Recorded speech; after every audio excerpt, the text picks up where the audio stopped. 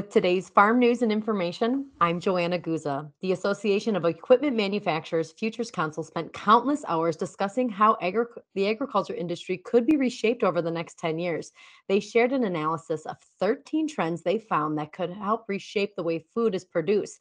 I wanted to dive into a few of these topics that sparked an interest to me, and I know that will you know, have an impact on America's dairyland. I'm joined with Curt Blades. He's the Senior Vice President of Industry Sectors and Product Leadership for the Association of Equipment Manufacturers.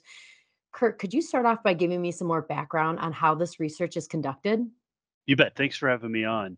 Uh, so, the Association of Equipment Manufacturers, we, we represent off road equipment. Uh, uh, in five sectors ag, construction, forestry, mining, utility. And one of the things that we've been doing in our 125 years of existence is providing thought leadership to the industries to help our members make sure that they are in a position to better, um, you know, make sure they have the right products or make sure that they're they're responding to the to where the industry is going.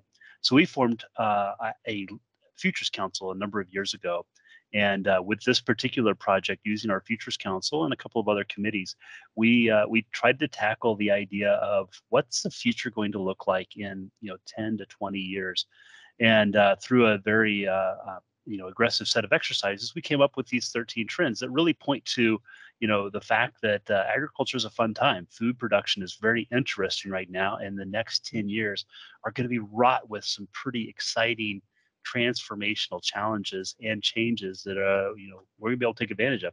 We want to make sure our members are in a place to be able to take advantage of those changes. So we're going to be diving into some of these trends that I thought was interesting, but I wanted Curt to kind of share what trend or trends was the most alarming or concerning to you. Well, the when we look at the 13 trends that we we put in this white paper, the one that uh, you really you think of the discussion that was actually the most interesting to me, uh, and the one was the most surprising was the heavy focus and alignment around water scarcity. You know, I'm sitting here in the Midwest where we don't think a whole lot about water scarcity, but I know that our friends in California, our friends in Texas uh, and and in other parts around the world are worried about that on a daily basis. And so, you know, I think those general consensus around this group that said that you know the next 10 years we're going to really have to deal with some of the water scarcity issues. You, know, you can't grow crops without water. You can't grow fruits and vegetables without water.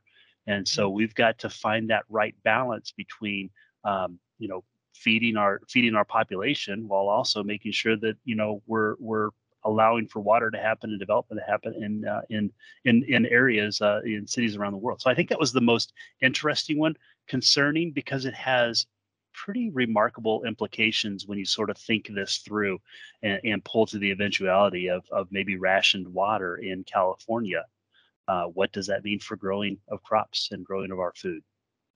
Well, and now I, I I think about some of those older generations, my dad saying, "Hey, this will never happen."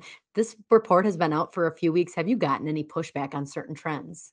Well, I'll tell you, it's tough to uh, predict the future because you're always going to be wrong, and there's countless examples of futurists that hit, that got it way wrong. So we're not claiming to to to be experts here, but what we did do, and why why we haven't got that level of pushback with this particular study, is that this is truly an industry consensus, and this is a conversation document based on fact, based on on uh, things that are uh, you know uh, different people's uh, opinions coming together that really are, are at a seat where they see these things happening.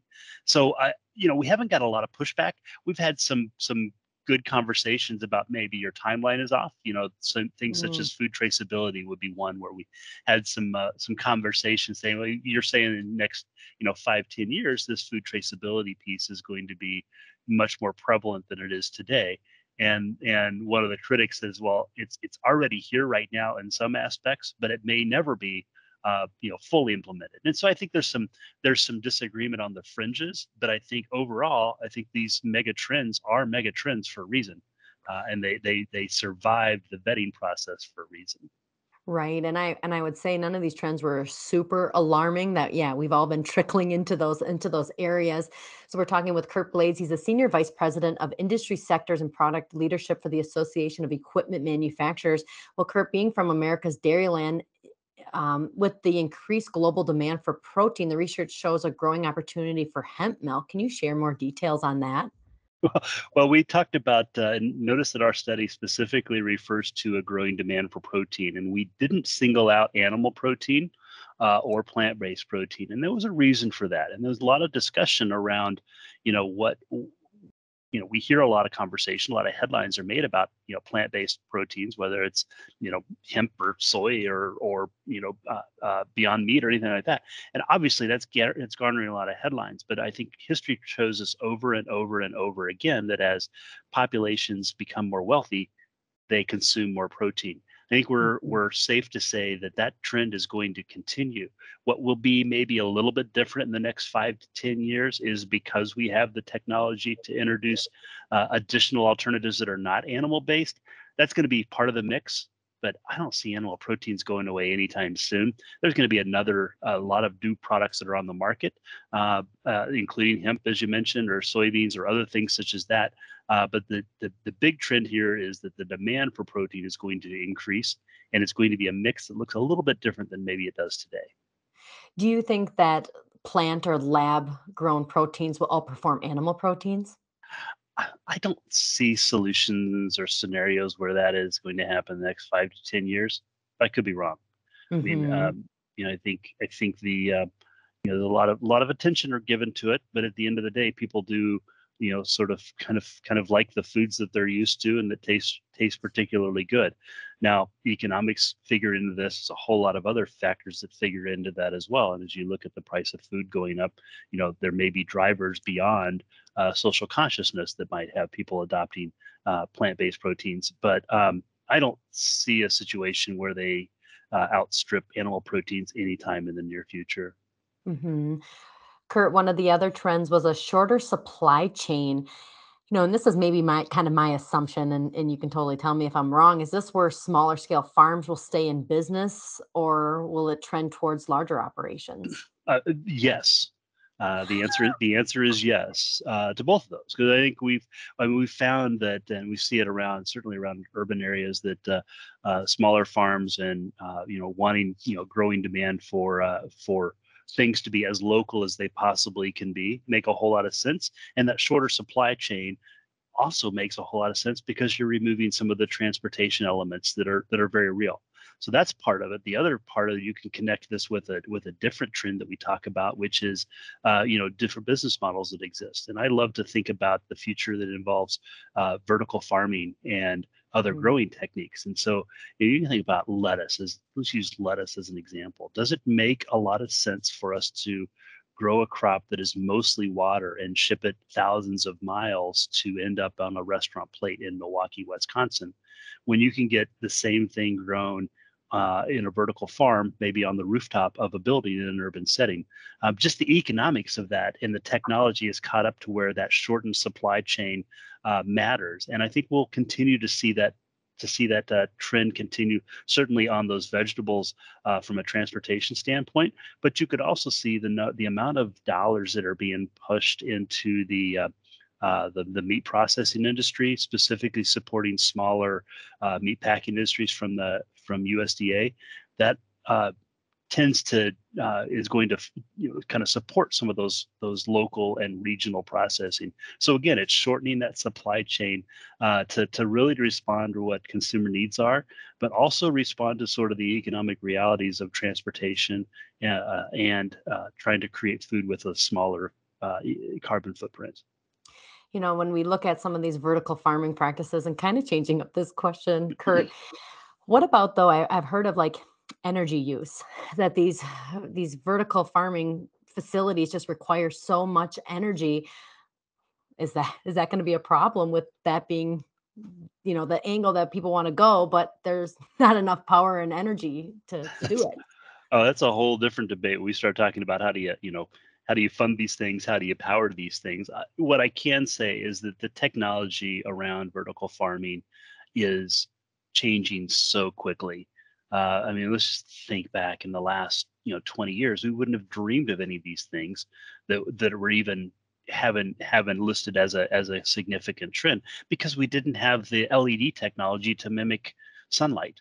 All of a sudden mm-hmm. we have that availability. And you know when you have an led technology that uh, can be com- you know controlled wirelessly and has some artificial intelligence built into it it only makes sense for us to get better and better at that and that includes being more energy efficient. So yeah in the short run i think there's a there's a very strong argument that yeah, it may not pay off uh, from an energy consumption standpoint but make no mistake um, innovation is not stopping today. It's going to continue on. And so I fully expect some of these uh, things like vertical farming and some of the other practices that we're talking about, they're going to be they're going to be part of our future, whether it's five years from now, 10 years from now, or 30 years from now. Um, they're clearly coming this direction because the technology is catching up. Right, and that's that's just one hurdle over the multiple wins we might have with vertical farming. Now, Curt, talking about some of those geographic shifts. So they hmm say that our corn belt, everything might be going up. Some of our southern states are going to have to find, you know, double cropping practices. hmm The big question is, is can infrastructure keep up with that shift if we're going to be changing where corn and wheat and all that is grown? That's a, that's a great question. And I'll tell you, we have a rich history of that happening in our food production system in the United States. I, I live in Iowa, uh, and where I live in, in Iowa, you know, the whole grain infrastructure was built around uh, train facilities feeding feedlots in Texas and 100 car, 100 car uh, train units with grain shipped to Texas. Well, ethanol comes into the market 20 years ago in a big way and totally shifts the dynamics. Well, the infrastructure followed.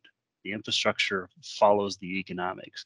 So yeah, Mhm. do we have the infrastructure today to have the the, the corn belt exist in you know northern Wisconsin? Probably not. Um, but if the economics are there, the infrastructure will follow. Right. So we know customers want to know where their food comes from and we, you know, you talk about transparency. Can you paint a picture of what this will look like for customers and what farmers should be would be expected to do? Well, again, goes back to technology. Um, the things that you know, I think farmers and consumers always want to know where their food comes from. Every good consumer wants that traceability, and frankly, every good farmer wants to tell their story. We haven't had the technology to allow that to happen in a very efficient way until really recently. So, when you talk about food traceability, I mean, farmers are keeping very good records of the great things they're doing on the land today using modern technology to grow crops in the most sustainable way that they can and that they have for centuries. Um, so that traceability uh, story, uh, you know, you have to have those one-on-one conversations historically with a farmer, and because of this commodity market, you kind of lose a little bit of that. Well, now all of a sudden, we've got some technology, whether it's blockchain. Uh, or other distributed technologies that allows that traceability to happen and that record keeping uh, to happen in a way that was never possible, heck, five years ago, uh, just because it would take way too much computing power. I see that happening in a very big way. So, what does this mean to farmers? The really Mhm. exciting thing about this for farmers is that farmers are already collecting that data. I mean, tractors and combines are data harvesting machines. And the only way this transparency and this traceability is going to work in a meaningful way is if it doesn't disrupt the current production practices and i think Mhm. we're we're just right on the cusp of seeing hey we can we can provide it's not it's not do things the way you've always done them or collect data i think the answer is produce really good crops and while you're at it you're going to be collecting data but it's a it's kind of a hands off process that just sort of happens in the background Right. And I think we already are consuming so much data. We're going to need to be hiring people to review that data yeah but what, what that means. So, Curt, now transitioning, talking about some of those emission regulations, can you tell me more about the direction of Costco and Walmart and where they're heading? And will biofuels grow or electric farm mm-hmm. equipment? Well um, we got a lot of ways to go uh, with the current technology to continue. I mean, we've made tremendous improvements, whether it's the Tier 4 engine that's, you know, available for sale right now, or additional power uh, power that's out there. I mean, the the industry continues to be uh, efficient uh, and find ways to be better.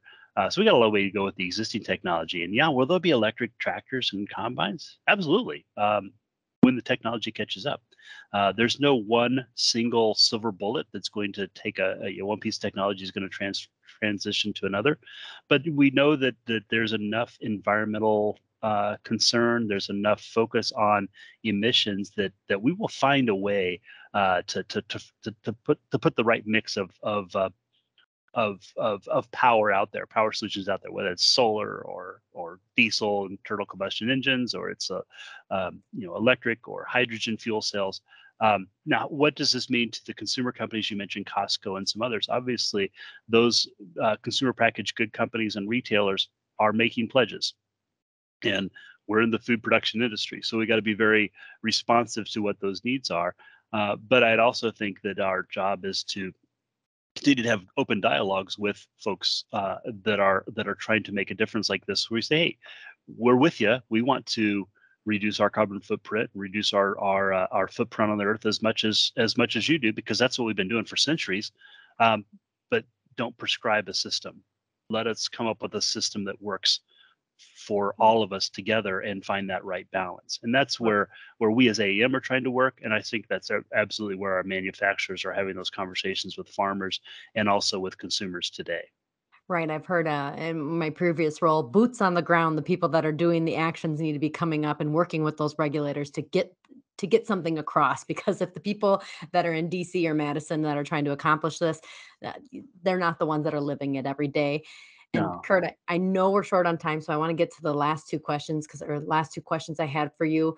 Can you share more about the farm ownership models and what new business models will emerge? Because this is really interesting to me. Well, here, here's just the reality of farming today. As we all know, it is a capital intense business. It's capital intense business because land is expensive and a lot of it's multi-generational land. Equipment is expensive and that you know you have to have a lot of cash to put that forward. As land ownership uh, evolves, largely because it's been family held, a lot of times it's in trust and there's kind of weird ownership uh, situations for for most of the farmland around uh, around the nation today. Uh, it, it only goes to say that that there will be new business models that exist. Uh, I use my own family farm as an example, where where historically the family farm owned the land, the family farm owned the equipment, and the family farm ran the business as a farm Mhm. every every year. Um, what we have done now for tax reasons and for other other reasons that just made sense from a generational transfer standpoint, we've actually have, have decoupled that land from the farm business. And that's happening over and over and over again out there, whether it's for tax reasons or for inheritance reasons or for Mhm. business continuity reasons but that changes things. So if you are a a, a, a family farming operation that has has uh, you know maybe been able to operate uh, some years on on feast years and some years on famine years, but you always have that land asset to kind of keep you along. That that ownership uh, uh, situation is changing. That business model is changing a little bit, and I think we're going to begin to see that really uh, take hold in the next five to ten years. Where you look at how that that business model is changing a little bit, that's going to affect farmers' decisions on how they purchase their inputs, even how they invest in their capital equipment, and maybe even how they take care of the land to begin with. That'll be Mhm. interesting to see what happens. Again, this isn't a an immediate change, but the aging of the population and the aging of the ownership of the land is is simply pointing out that this transfer is happening right now. Right. And Curt, I know you got to get going, but you're a wealth of knowledge. So I need to get this last point from you. So there's people that are, are following these trends. What could be some factors that hold back these trends that all of a sudden derail it, that it's not going to happen? I mean, I can think of regulation, another pandemic. What what are some other trends or factors that you think could impact them? Well, I just shuddered a little bit when you said another pandemic. Please, please don't say that again. Uh, but I, I do think that the pandemic brought a lot of attention uh, to the food sector, and and with that attention comes investments. It comes additional scrutiny for regulation. Um, some of these trends, there's there's not a whole lot that's going to slow down these macro trends that we point to, but there are some things that could accelerate them. And one of those that we as AEM have been big advocate for is rural broadband. And there's so many times throughout this present throughout this white paper, and whenever even our conversation here, we talk about you know innovation and technology. The only reason that this technology can see the light of day, and the only way it can really um, live up to its full potential, is when we have rural broadband and Mhm. specifically wireless broadband in field So that's a limiting factor. Uh, that's the biggest limiting factor. Another limiting factor is going is labor. Um, labor is also a catalyst to cause more innovation to happen because we had to deal with mechanization to address labor issues. But from a um, uh, being able to work on the machines or being able to uh, you know service uh, machines at the local level and that level of technology sophistication it's very real. So that is another limiting factor that could derail some of this um, a little bit. I wouldn't say derail but probably slow down the adoption of things. And then obviously uh, I, I will say that there's always a back, black swan event out there. Uh, you know, we mm-hmm. live in a time where where there is some some real challenges on a global basis, geopolitical issues. So you don't know what that means, um, but that could change everything tomorrow. The right. fundamental truths are going to continue to be there. Just the implementation may change a little bit. We're talking with Curt Blades. He's the Senior Vice President of the Industry Sector and Product Leadership for the Association of Equipment Manufacturers. We appreciate your time and your research that you've put into this. I mean, this is what's going to help us be innovators for the future. So thank you so much for your time, Curt. You bet. Thank you. And please go to aem.org to learn more about this study. Perfect.